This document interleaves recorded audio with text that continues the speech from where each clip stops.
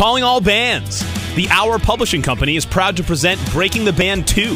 If you have a band and would like to compete for a chance to be the headlining group on the main stage at the Norwalk Oyster Festival on Friday, September 6th in front of thousands of screaming fans, visit thehour.com slash breaking the band for information and to register. Join other bands competing to win on Friday, August 16th at one of SoNo's entertainment hotspots. Register early, space is limited. Be sure to enter at thehour.com slash breaking the band.